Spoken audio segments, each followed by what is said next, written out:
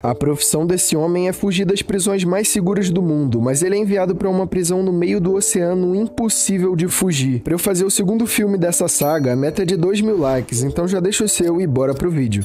Ray tá preso numa prisão de segurança máxima dos Estados Unidos e quer arrumar um jeito de fugir dali. Ele sempre estava analisando a rotina dos funcionários daquela prisão e percebe que ao lado da parte onde fica solitária tem a garagem dos bombeiros e é ali que ele tem uma ideia para fugir. Depois de uma briga no pátio com dois presos, ele é levado para Solitária, que é uma cela especial onde não tem nada dentro e a única luz do sol vem de uma grade no teto. O guarda desalgema Ray e lá dentro ele começa a analisar a cela, notando que na parede tinha uma câmera. Ele nota que os guardas sempre iam fumar no telhado e ficavam 7 minutos, então durante esse tempo não tinha ninguém vigiando ele. Ray então pega seu papel higiênico e começa a molhar ele todo para depois fazer uma bola. Na hora da comida ele rasga a caixa da chocolatado e com um garfo ele começa a tirar a película que tinha dentro da caixinha o guarda leva ele pro horário do banho de sol e na volta, sem que o guarda percebesse, ele colocou aquela película no teclado da porta. O guarda aperta os números para abrir a porta e quando vai desalgemar as pernas de Ray, ele pegou a película que estava com as digitais do guarda, mostrando a senha da porta. Na hora de tirar a algema, ele pega a bola de papel higiênico e coloca na tranca da porta. O guarda vai embora para fumar seu cigarro e ele tem 7 minutos para agir. Ray abre a janela e alcança o teclado. Ele consegue digitar a senha que abre a porta da cela. Com os guardas fumando, ele vai até a sala de controle voltando as imagens da sua câmera. Ele abre a passagem do duto que dava direto ao lugar onde fica a garagem dos bombeiros. Nessa hora, uma mulher para o carro no estacionamento e alguns segundos depois ele explode, causando uma distração. Na explosão, os bombeiros tiveram que apagar o fogo e Ray foi junto com eles escondido embaixo do caminhão. Quando chega no estacionamento, ele entra dentro de uma van preta e consegue fugir dali. Quando o guarda percebeu que Ray não estava na sua cela, já era tarde demais. Dentro do carro, ele encontra seus dois amigos Abigail Abigail e Rush, que falam para ele que dessa vez ele fugiu bem rápido. Eles param o carro no posto onde Ray desce e vão embora. Ele vai na direção do telefone e nessa hora uma viatura viu ele andando e pediu reforço. Já completamente cercado de policiais, ele faz uma ligação e fala que tá tudo pronto. Ele sai da cabine com as mãos para cima e é colocado na viatura. Nessa hora aparece um homem chamado Lester Clark, que se apresenta ao policial dizendo que aquilo tudo era um teste. Ele diz que levaria Ray para se encontrar com o diretor da prisão, onde iria explicar tudo. Eles vão até a cadeia e o diretor entra na sala revoltado, perguntando o que estava acontecendo. Nessa hora, Lester explica para ele que eles são uma empresa de segurança contratados pelo Departamento de Penitenciária para testar as prisões de segurança máxima do país. Ele fala que nos últimos sete anos, Ray foi colocado em 14 prisões de segurança máxima e conseguiu fugir de todas. Depois de sair dali, Ray vai até a empresa de segurança, onde tem uma reunião com Jessica Miller, advogada do FBI. O governo está criando uma prisão alternativa para prender os piores prisioneiros do mundo. Eles querem fazer com que esses presos sumam do sistema de tão segura que é a prisão. As pessoas que estão financiando esse projeto querem saber se a prisão é realmente prova de fuga para eles criarem mais prisões como essa. Ela diz que só tem uma condição: ninguém dali poderia saber a localização da prisão. Ray fica desconfiado, mas como era muito dinheiro, ele aceita. Jéssica fala que em 24 horas ele iria ser levado para lá por uma empresa contratada. No dia seguinte, eles fazem uma nova identidade para Ray e a história dele seria de que ele foi preso depois de causar uma explosão. Rush mostra o diretor da prisão, chamado Marsh. Ele fala que se alguma coisa desse errado, era só Ray dizer o código de evacuação, que era um número combinado se ele quisesse desistir. Como não sabiam a localização da prisão, eles colocam um rastreador no braço de Ray. Ele vai até o local combinado e de repente uma van aparece com vários caras mascarados. Eles amarram Ray para passar o detector de metal e conseguem tirar o rastreador do braço dele. Ele acorda dentro de uma cela de vidro com vários prisioneiros do seu lado, uma prisão que ele nunca tinha visto nada parecido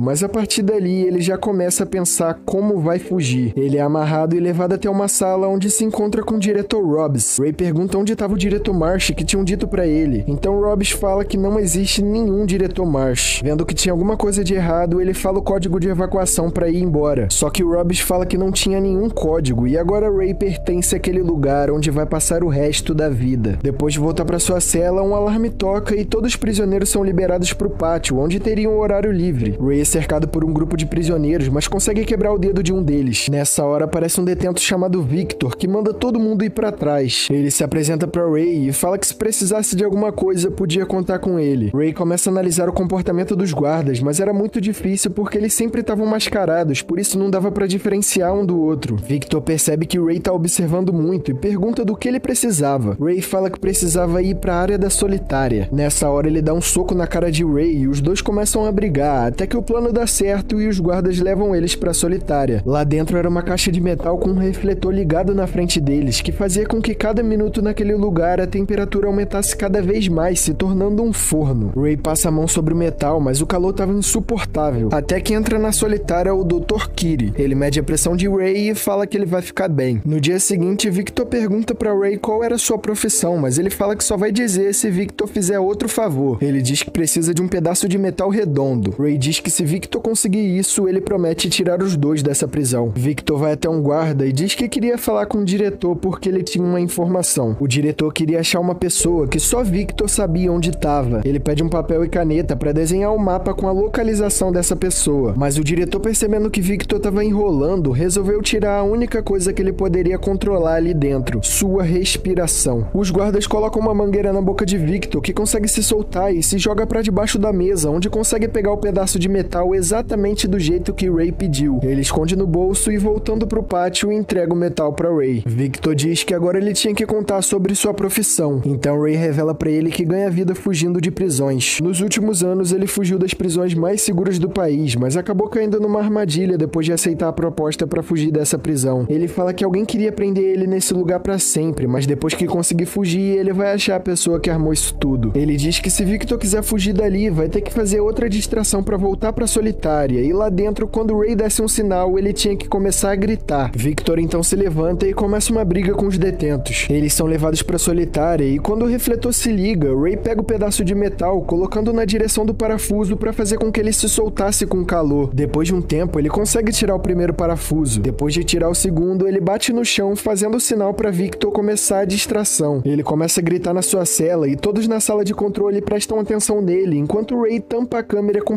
higiênico molhado. Depois de tirar o último parafuso, ele encontra uma escada. Descendo nela, ele acha uma porta, mas estava trancada. Ele decide subir pela tubulação, quando lá em cima Ray acaba quebrando um dos tubos que começa a jorrar muita água. Mesmo assim, ele continua subindo e quando chega lá em cima, ele encontra uma escotilha enferrujada. Com muita força, ele consegue abrir e chegar ao topo da prisão, mas é aí que percebe que eles estão dentro de um navio no meio do oceano. O que parecia difícil de fugir se tornou impossível. Começa a tocar o alarme na prisão de que uma válvula d'água tinha rompido, então o diretor manda os guardas tirarem os presos dali de dentro. Ray vai nadando até a escada e sobe até a sua cela que estava completamente alagada. Ele consegue tampar o chão com metal e destampa a câmera no momento exato que os guardas chegaram para tirar os presos dali. O diretor, percebendo que os parafusos da cela de Ray estavam soltos, ligou para quem o colocou ali dentro, que era o Lester, chefe de Ray. Ele fala que criaram uma nova identidade para ele entrar na prisão, mas que Ray não podia de jeito nenhum sair dela. Lester fala que pagaram 5 milhões para colocarem Ray lá dentro e querem que ele fique preso lá para sempre. Ray tá dormindo na cela quando um guarda começa a bater no seu vidro. Ele entra lá dentro e começa a bater muito nele. Depois disso, Ray vai pro pátio e se encontra com Victor para revelar tudo o que ele descobriu. Ray fala que eles estão dentro de um navio gigante no meio do oceano. Seus dias ali estavam ficando muito mais difíceis porque os guardas sempre batiam nele. Victor fala para ele não desistir porque eles vão achar um jeito de fugir dali. Ray conta que decidiu ganhar a vida fugindo de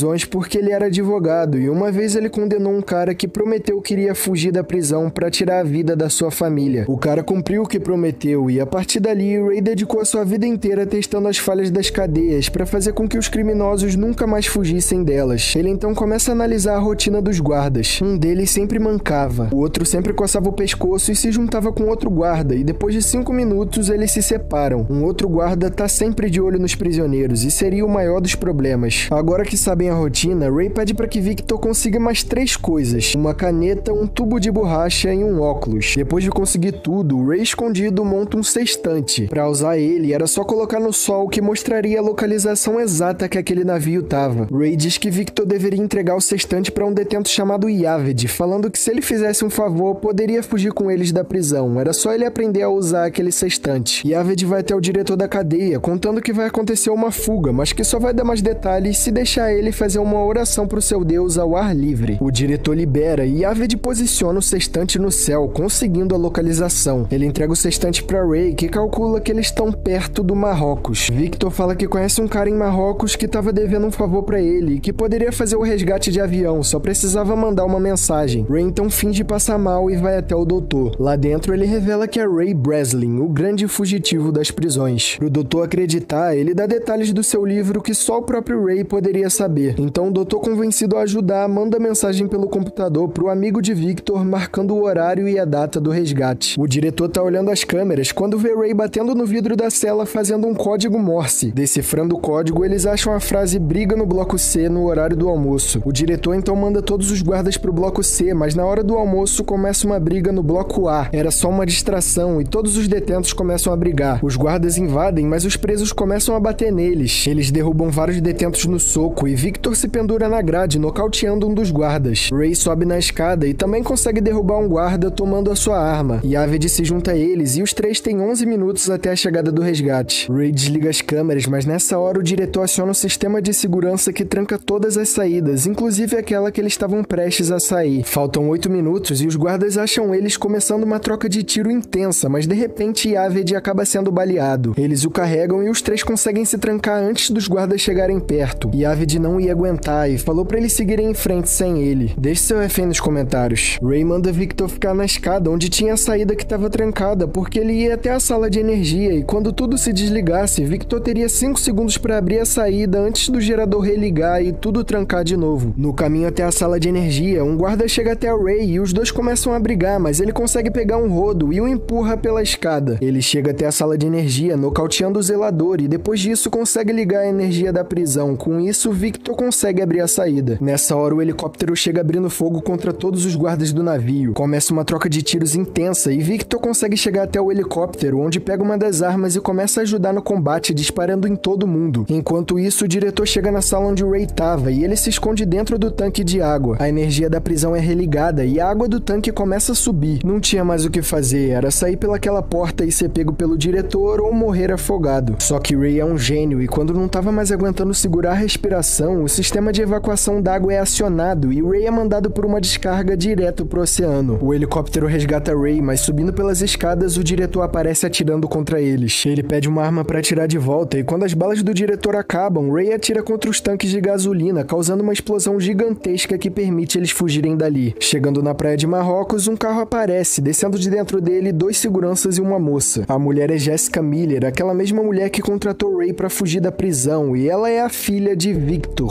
O intuito dela era fazer com que Ray ajudasse a tirar o pai daquele lugar. Quem armou tudo para Ray ficar na prisão para sempre foi seu chefe Lester Clark. Ele recebeu uma proposta de virar o diretor daquela prisão caso Ray não conseguisse fugir daquele lugar, além do salário que seria de 5 milhões por ano. Ray vai até a empresa procurando por Lester, mas ele já tinha fugido. Eles conseguiram rastrear Lester e quando o chefe entrou dentro do seu carro, o Rush estava no banco de trás e conseguiu apagar ele. Lester acorda preso no seu carro e descobre que está dentro de um container num navio no meio do oceano, e é ali que ele vai passar o resto dos seus dias. A saga desse filme Rota de Fuga tem três continuações, então se você quer uma parte 2 com o segundo filme, já deixa o seu like porque a meta é de 2 mil likes. Pera, pera, pera, vou te apresentar duas opções de filmes para você votar nos comentários se você quer a opção 1 ou a 2. O filme número 1 se chama Solo. Esse homem tá indo surfar em uma ilha bem isolada, só que ele acaba sofrendo um acidente caindo de um penhasco. Na queda ele fratura a bacia, o que o impede de andar. O problema é que ele não tinha sinal de celular para pedir ajuda. A maré estava subindo e o puxava em direção ao mar. A gente vai acompanhar a jornada e tudo que ele fez para conseguir sobreviver. O segundo filme se chama Arrebentando na Prisão. Nessa história, a gente vai acompanhar um homem que acabou de ser condenado a seis anos de prisão e, com medo dos presos, ele acaba treinando artes marciais para estar preparado para sobreviver. E aí, vai escolher o primeiro ou o segundo filme? Esse foi o recap de hoje. Deixa o like, se inscreve no canal e até o próximo vídeo.